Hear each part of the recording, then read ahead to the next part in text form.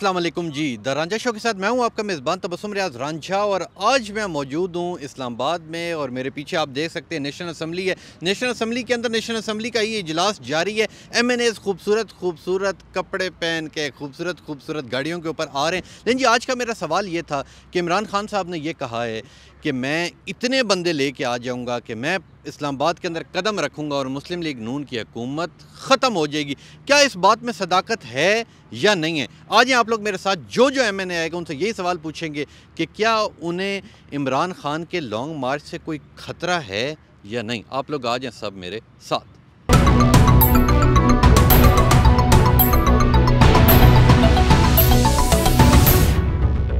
जी, मेरे साथ इस वक्त शायद खाकान अब्बासी साहब मौजूद हैं। इनसे बात करते हैं। अस्सलाम वालेकुम जी। वालेकुम शायद खाकान अब्बासी साहब मुझे ये बताएँ कि कहा यह जा रहा है कि इमरान खान साहब ने इतनी आवाम लेके आ जानी कि वो कहते हैं कि जिस दिन मैं इस्लामाबाद में कदम रखूँगा हुकूमत ख़त्म हो जाएगी। क्या इस तरह हो जाएगा? आइन पढ़ लें जी। अगर हुकूमत इसी से ख़त्म होती है कि आप दो हज़ार या पाँच हज़ार या दस हज़ार या बीस हज़ार या पचास हज़ार आदमी लेकर आ जाएँ फिर मुल्क कैसे चलेगा? ये भी देखें कि पंजाब भी उनका के पी के भी उनका। जी मैं जिसका भी हो आइन क्या कहता है? कि आइन इजाज़त देता है कि आप सूबाई हुकूमतें वफाक पर हमला और आवर हों। आप ताकत का इस्तेमाल करेंगे? मौजूद हैं। ताकत का इस्तेमाल करेंगे? ताकत का इस्तेमाल नहीं होता ताकत आइन देता है। किसी आइन किसी को इजाज़त नहीं देता कि वो चढ़ावा करे मुल्क के दारकूमत पर। तो आपको अगर कोई करेगा वो कानून तोड़ेगा तो कानून हरकत में आता है। यानी कि मुझे सिर्फ़ ये बता दें कि हुकूमत पाँच साल आप अपनी जितना ये टेन और पीछे रह गई पूरी कर जाएगी मुस्लिम लीग नून हुकूमत आज मुल्क के लिए ज़रूरी है इस मुल्क जमहूरीत के लिए ज़रूरी है कि हुकूमत अपना टर्म पूरी करे। हुकूमत जिस वक्त तक अददी बरतरी रखती है वो रहती है।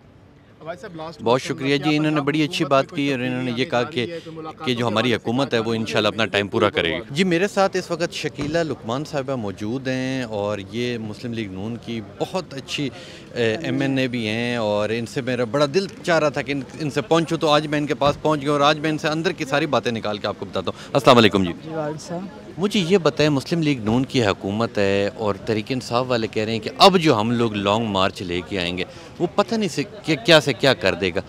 इसमें कितनी सदाकत है? कोई आपकी हुकूमत को डर शर है?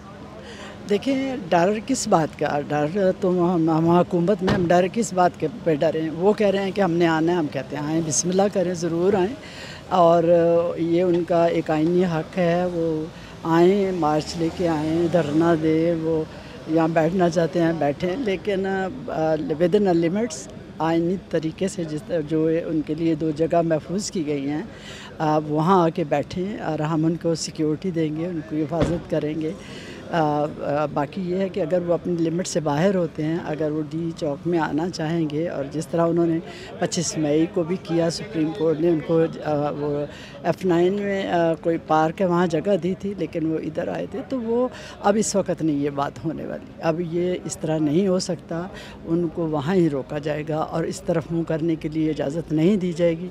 यहाँ आपको पता है कि यहाँ सरारी सरकारी मरते हैं और उसके बाद अम्बेसीज़ हैं और ये रेड जोन है। आ, आप किस तरह जो है वो एक कैपिटल में और आप जहाँ आपका वज़ी अजम हाउस है यहाँ पे सदर हाउस है यहाँ पे सुप्रीम कोर्ट है सारे इदारे इधर हैं और वो आके चढ़ दौड़े और आपको पता है कि पच्चीस मई में इन्होंने जो कुछ किया था जहाँ जिस तरह आके आग लगाई थी और इस तरह किया था अब वो वो उस तरह का मामला हम नहीं होने देंगे इन जी मेरे साथ इस वक्त अताउल्ला साहब मौजूद हैं जो वकील भी हैं और इनका ताल्लुक पाकिस्तान तरीके इंसाफ से आए इनसे पूछते हैं कि इनका अगला लाए अमल क्या है क्योंकि अस्सलाम वालेकुम जी। जी वालेकुम सलाम। जितनों से मैंने बात की मुस्लिम लीग नून के उन्होंने कहा बेशक जितने चाहें ये लोग लेके आ जाएँ। लोग हुकूमत को कोई ख़तरा नहीं है। हुकूमत अपना टाइम पूरा करेगी हमें कोई मसला नहीं है। और अब आवाम की ज़रूरत बन गई मुस्लिम लीग नून। क्या ये हकीकत है? देखिए, इन्होंने तो कहना है कि जितना ये ज़ोर लगा ले, हुकूमत टाइम पूरा करेगी। लेकिन हमारा मानना ये है कि सबसे पहले तो ये ख़ुद गिरेंगे, इसलिए कि महँगाई है, हालात ख़राब हैं। और ख़ास कर इस वक्त जो स्वाद की तरफ़ से दहशत गर्दी की जो लहर उठी है, कराची में बदमनी है, ये सारे हालात वाक़ात जो है, इनके ख़ात्मे के लिए बिल्कुल कंप्लीट है। दूसरी बात यह है कि हम सिर्फ़ और सिर्फ़ इस्लामाबाद नहीं आएँगे। अगर ये समझते हैं कि हमारा प्लान इस्लामाबाद तक आना होगा ये खंदा की कोद देंगे ये कंटेनर रख देंगे और बाहर रोक लेंगे। हम इन इसके साथ साथ ये तो एक हिस्सा है इस्लामाबाद आना। इसके अलावा भी बहुत सारी चीज़ें हैं और इनको लग पता जाएगा जब हम अपने लाएमल पे आगाज़ का आगाज़ करेंगे तो इनको समझ आ जाएगी फिर। यानी कि पंजाब भी आपका के पी के भी के पी के भी आप लोगों का यानी कि फुल ताकत के साथ आप लोग आएँगे। देखें 25 मई को जब हमारी हुकूमत नहीं थी पंजाब में और सिर्फ़ के पी के में थी तो इनको लेने के देने पड़ गए थे। अब तो पंजाब भी हमारे पास है के पी के भी हमारे पास है, इनकी तो सत्ताईस किलोमीटर में हुकूमत है। और अल्हम्दुलिल्लाह, सिंध से हम बड़ी तादाद में आएँगे, लोग तैयार हैं। आपने देखा सैलाब में सारे लोग डूबे हुए और आवाम जो है तैयार है। अवामी ताकत को कोई नहीं रोक सकता, चाहे वो कोई भी हो। ये समझ लें कि अवामी ताकत को कोई रोक नहीं सकता। श्रीलंका की अभी की मिसाल हमारे सामने और दुनिया की मिसालें पड़ी हुई हैं कि अवाम जब उठती है तो वो फिर इनकलाब आती है। यानी कि हुकूमत अपना टेन्योर पूरा नहीं करेगी। सवाल ही पैदा नहीं होता। हुकूमत तो हम अभी वेट कर रहे हैं अपनी जो अपना जो लायामल है वो तरतीब दे रहे हैं वरना तो इन इनकी हुकूमत कब की ख़त्म हो चुकी होती? है बहुत शुक्रिया जी इन्होंने बड़ी अच्छी बात की। इन्होंने कहा कि जो मुस्लिम लीग नून की हुकूमत है वो जल्दी ख़त्म हो जाएगी और ये जब इनके लीडर इमरान खान साहब कॉल देंगे कि आ जाओ जी इस्लामाबाद तो ये इतनी तादाद में लेके आ जाएँगे कि ये लोग खुद ही घबरा जाएँगे। लेकिन जी आगे चलते हैं और भी काफ़ी एम एन एस मौजूद उनसे बात करते हैं देखते हैं वो इस बारे में क्या कहते हैं। जी मेरे साथ इस वक्त नासिर इकबाल बुसाल साहब मौजूद हैं जो मंडी बहुद्दीन से M N A Muslim League Noon से उनका ताल्लुक है। आए इनसे बात करते हैं। असल जी।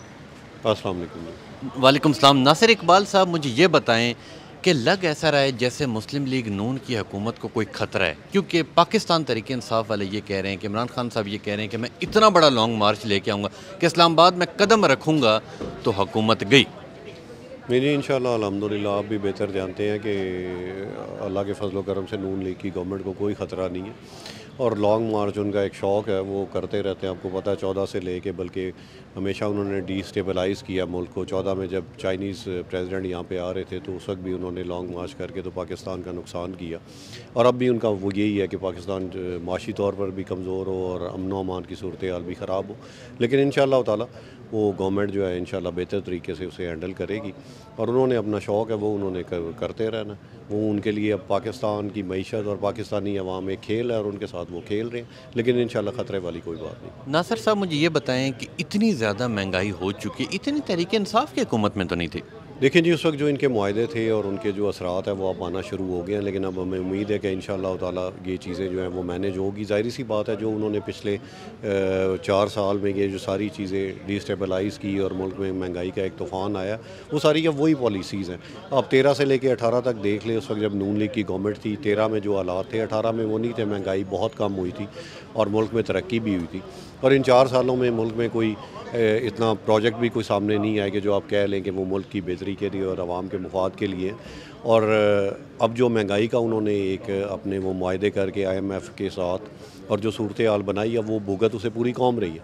लेकिन इन हमें उम्मीद है कि अल्लाह के फजलो करम से वो चीज़ें भी इंशाल्लाह सेटल डाउन होंगी और आप देखेंगे कि चार छः महीने में महँगाई की शरह बहुत कम होगी। कुछ उड़ती उड़ती खबरें आ रही थी कि नासिर इकबाल साहब भी शायद पाकिस्तान तरीके इंसाफ में शामिल होना चाहते हैं। क्या इन बातों में कोई सदाकत मौजूद है? इन बातों में कोई सदाकत नहीं। आप मुस्लिम लीग नून के साथ ही अलहमदिल्ला मरते दम तक। इंशाल्लाह। आखिरी सांस तक। इंशाल्लाह। जिंदाबाद। ये जी मंडी बहुत दिन की खूबसूरती है जी जिस पार्टी में एक बार चले जाएँ मरते दम तक उन्हीं के साथ रहते हैं। लेकिन जी आगे चलते हैं और भी काफ़ी एम आ रहे हैं उनसे ही बात करते हैं और देखते हैं वो इस बारे में क्या कहते हैं। मेरे साथ इस वक्त मोहम्मद जमालुद्दीन साहब मौजूद हैं इनसे पूछते हैं। असल जी। जी वालेकुम सर मुझे ये बताएँ कि इमरान खान साहब कह रहे हैं कि मैं इतना बड़ा लॉन्ग मार्च लेके आऊँगा कि इस्लामाबाद के अंदर कदम रखूँगा तो हुकूमत ख़त्म हो जाएगी। क्या इस चीज़ के अंदर कोई सदाकत मौजूद? वो आ रहा है?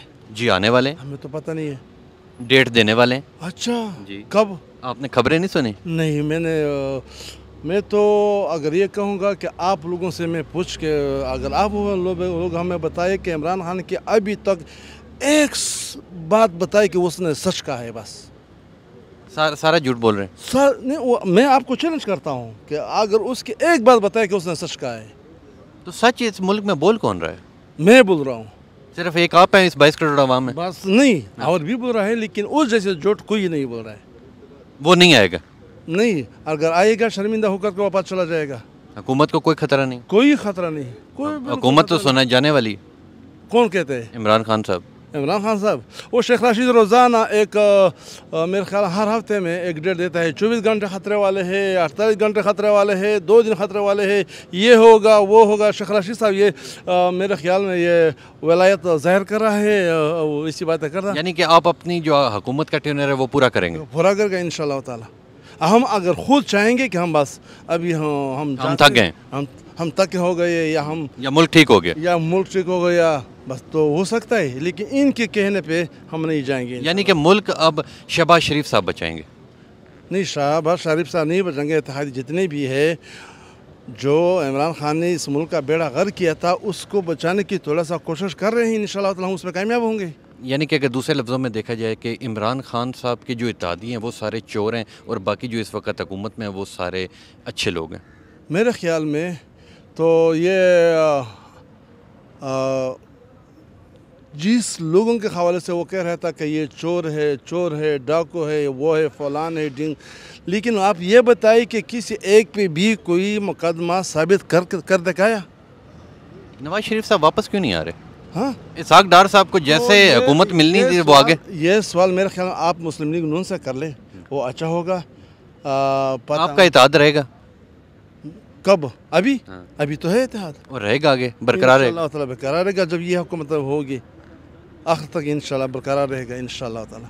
इन जी इन्होंने बड़ी अच्छी बात की कि जी हमारा इतिहाद जो है वो बरकरार रहेगा और हुकूमत को ये कह रहे हैं कोई खतरा नहीं। आए जाके चलते और भी काफ़ी है मैंने तो उनसे बात करते हुए देखते वो इस बारे में क्या कहते हैं। जी मेरे साथ इस वक्त नुसरत पठान साहिबा मौजूद हैं। जब भी मैं आता हूँ मुझे नज़र आती है और मेरा दिल बड़ा खुश होता है क्योंकि मैं इन्हीं के लिए स्पेशल यहाँ पर आता हूँ। आए इनसे बात करते हैं। वालेकुम जी। वालेकुम अस्सलाम।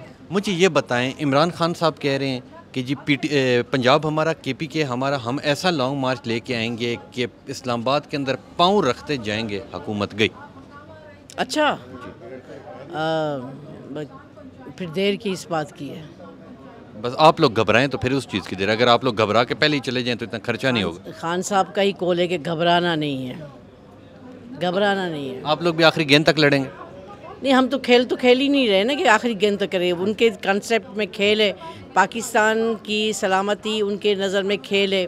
पाकिस्तान की मैशत उनके नज़र में खेल है। तो मैं ये चाहती हूँ कि खान साहब इस मुल्क के लीडर हैं और बकौल बिलावल भुट्टो साहब के, पहले वो लीडर तो बाद में बनेंगे, पहले वो इंसान बन जाए। तो कुछ होती हैं, कुछ इकदार होती हैं जिनको आपको लेके चलना पड़ता है।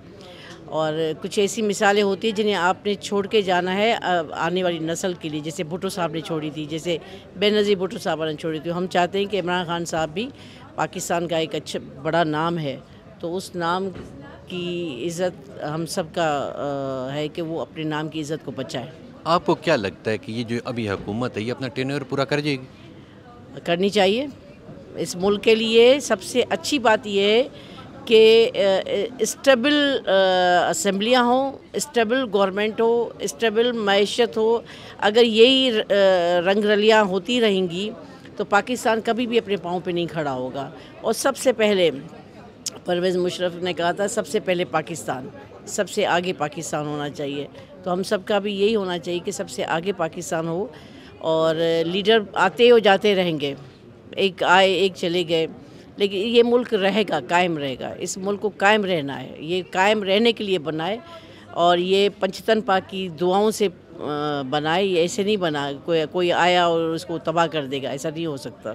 बहुत शुक्रिया जी बहुत शुक्रिया। इन्होंने बड़ी अच्छी बात की। इन्होंने ये कहा है कि सबको अकल आनी चाहिए इस पर सारे इस मुल्क का सोचें। आएँगे आगे चलते और भी काफ़ी हमें तो उनसे बात करते हुए देखते हैं वो इस बारे में क्या कहते हैं। हाँ जी ये था मेरा प्रोग्राम। उम्मीद करता हूँ आपको पसंद आया होगा। आपने अरकान कौमी असम्बली सब की बातें सुनी। सबका यही कहना है जो मुस्लिम लीग नून वाले हैं, उनका ये कहना है कि जितना चाहें लॉन्ग मार्च लें।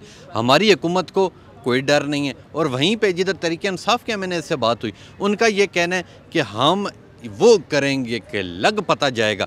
अब इंतज़ार है इमरान खान साहब किस दिन लॉन्ग मार्च की डेट देते हैं। जिस दिन डेट देंगे, उसके बाद देखेंगे कि मुस्लिम लीग नून जीती या पाकिस्तान तरीके इंसाफ जीती। इंशाल्लाह मिलेंगे आपसे अगले प्रोग्राम में। तब तक के लिए अपने मेज़बान तबसम रियाज रांझा को दीजिए इजाज़त। अल्लाह हाफिज़।